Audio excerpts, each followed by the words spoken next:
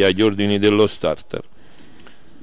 Sul 6 Cebreno degli Dei sale il buon Iodice che sostituisce Luigi Farina.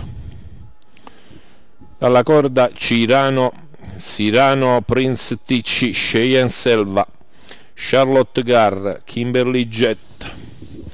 C'è il ritiro di Crios, non l'avevamo dimenticato, poi Cebreno degli Dei e Scer del Ronco si ritratta Scer del Ronco. Cebreno degli Dei. Nettamente il più sollecito.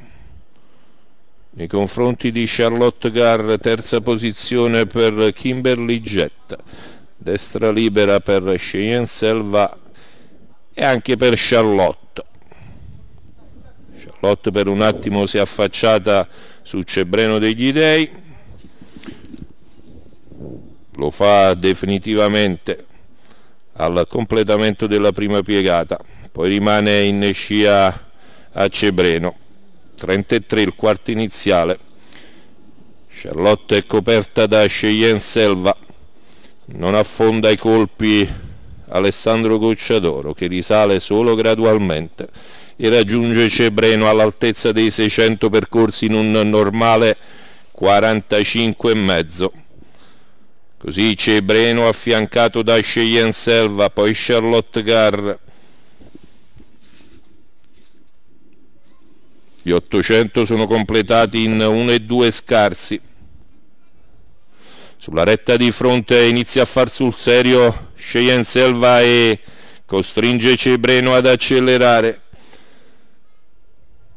Si giunge così al chilometro in 1,17 secchi, cambia marcia a Cebreno, rimane ai suoi fianchi Cheyenne, poi Charlotte Gardi dentro guadagna una posizione Kimberly Jet, tre quarti di miglio ultimati in 1,31 con 14 secchi di fronte, Cebreno cerca di scappare da Cheyenne Selva, Cebreno prende tre quarti di lunghezza all'avversaria che si ripropone al completamento della piegata conclusiva. Cheyenne Selva adesso va su Cebreno, lo attacca a fondo, testa a testa tra i due. La rottura di Cheyenne Selva e così Cebreno degli Dei con il bravo Iodice appena passato professionista va a concludere alla grande nei confronti di Sirano Prince TC, esito sorprendente di questa prova conclusiva.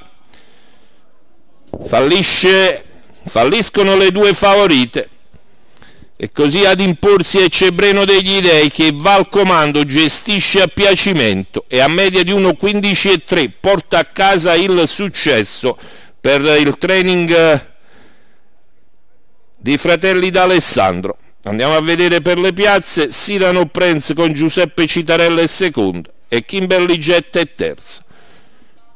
6, 1, 4, si chiude così il convegno.